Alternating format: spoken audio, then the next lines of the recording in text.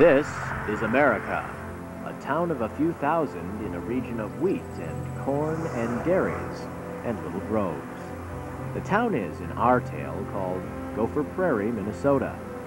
But its main street is the continuation of main streets everywhere.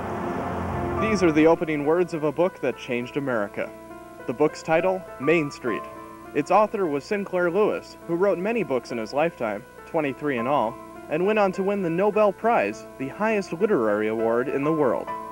But Main Street was the thunderclap that changed the literary atmosphere of America. The book was the most sensational event in 20th century American publishing history and sold millions of copies in a dozen languages. Until it was published in 1920, conventional wisdom said that God made the village and the devil made the city. But in Main Street, Lewis destroyed the myth that all goodness and happiness flowed from the small town, portraying small town life as provincial, smug, and dull.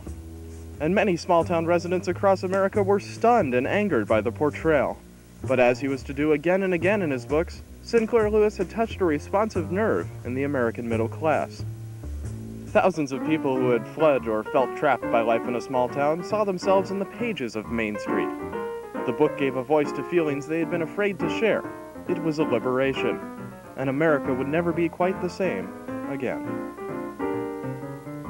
Lewis based Main Street on his memories of the small town in which he was born and raised, Sauk Centre, Minnesota. At first, the residents of Sauk Centre were outraged by the book, but they quickly forgave him, and in less than two years, he was welcomed back as the town's chief ornament.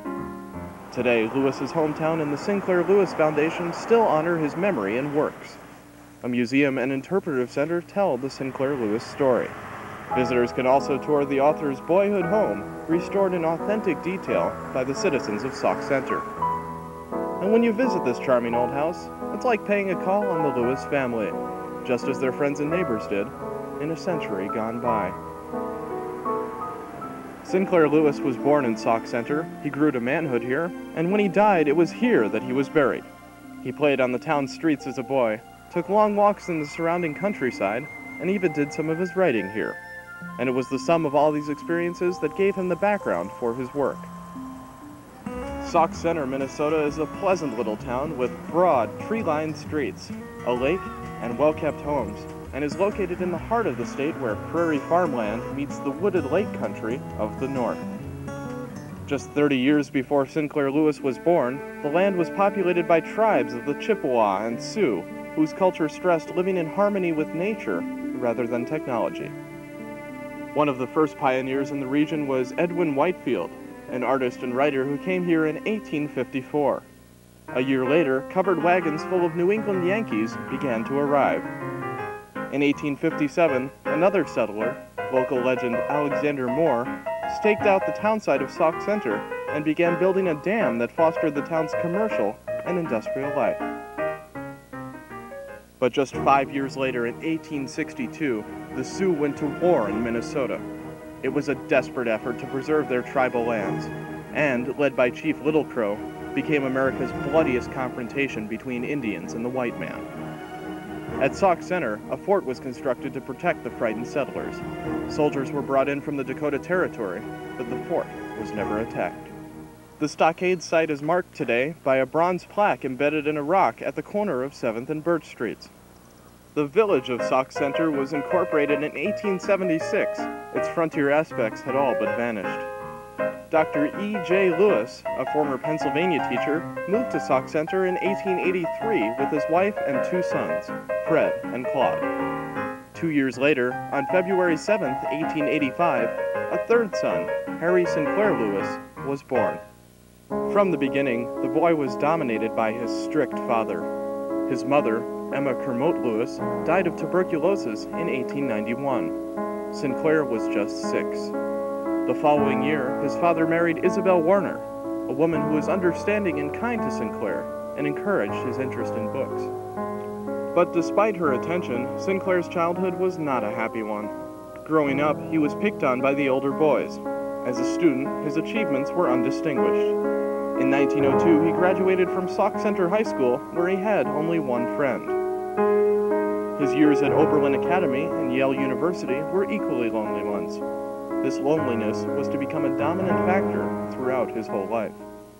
In 1912, Lewis, under the name Tom Graham, became a published novelist with Hike and the Airplane. And two years later, he married Grace Hegger. Their son, Wells Lewis, was born in 1917 and was killed in action in World War II. In 1920, Main Street was published and soon became a household word, both in the United States and abroad. The decade that followed saw Lewis as a spokesman for his generation. His books, one after another, were sensations. Using satire and enormous factual detail, they turned a sometimes harsh mirror on America. Main Street became a synonym for stereotypical small town opinions and attitudes. With the book Babbitt, Lewis gave the English language a new word, one used to describe someone who rigidly conforms to middle class ideals. In Dodsworth, he created a much happier character, able to pick and choose the best of middle class values and reject the rest.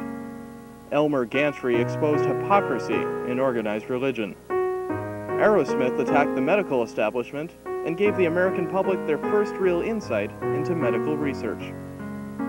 Surprisingly, even to himself, Lewis's books were overwhelmingly accepted by the very people he criticized, and seemingly he had struck a chord with middle-class Americans.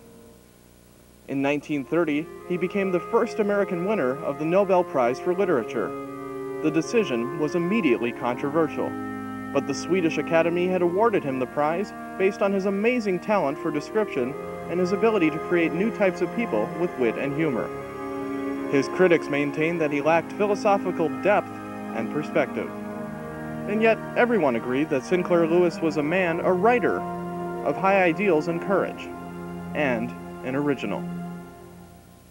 In the remaining years before his death, Lewis would pen several more novels. Many of them became enormously popular. It Can't Happen Here, Cass Timberlane, and Kingsblood Royal, to name a few but never again would he reach the artistic heights of his earlier works.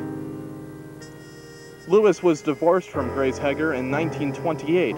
That same year, he married newspaper columnist Dorothy Thompson in London.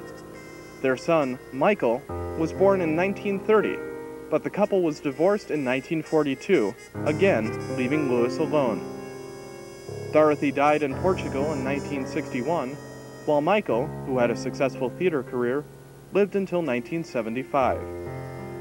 Sinclair Lewis paid his final visit to Sauk Centre in October of 1947 and died, alone once more, in Italy on January 10, 1951. Main Street was hardly a flattering depiction of small town life, but that was in 1920. People in Sauk Centre and other small towns have become more sophisticated since then. Transportation, communication, and new technologies have brought the world to their door.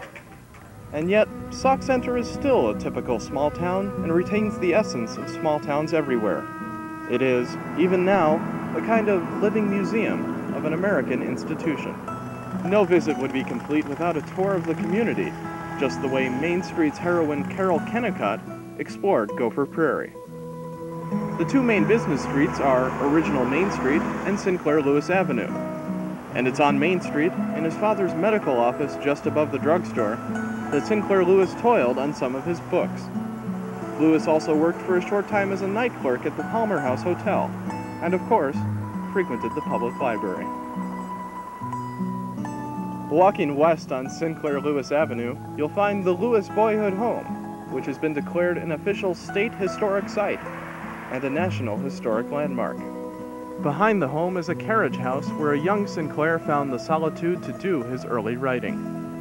And across the street is the house where he was born. Getting completely into the spirit means a visit to the Stone Arch, an old stone railroad bridge where a young Lewis carved his initials. It was, after all, a fine hiding place for smoking and getting away from it all. On the east side of town, about a mile east of Main, on Sinclair Lewis Avenue, you'll find the grave in which his ashes rest. It was here that they were buried on a cold January day in 1951. As his brother, Dr. Claude Lewis, tipped the urn, a gust of wind carried part of the ashes away. It seemed a symbol of the restless quest that had been the life of Sinclair Lewis. Claude Lewis has since died. Fred Lewis preceded his brothers in death. Many people wonder why the man who wrote so scathingly of Main Street would choose to be buried here. Novelist Pearl S. Buck, after visiting the Lewis home, may have had the answer. I found the Lewis home a sober, comfortable, middle class house with gables and a porch and a neat lawn. And why, I wondered, should that fiery, honest, impatient spirit have come of such a house? What accidental combination of elements produced him? I could only see him bursting out of those walls and out of the town it stood for, loving it so much that he hated it for not being all that he wanted it to be and knew it could be. That was the way he loved his whole country, and that I can understand. But Sinclair Lewis himself may have put it best in an essay written for the 50th anniversary edition of his high school yearbook. He wrote, It was a good time, a good place, and a good preparation for life.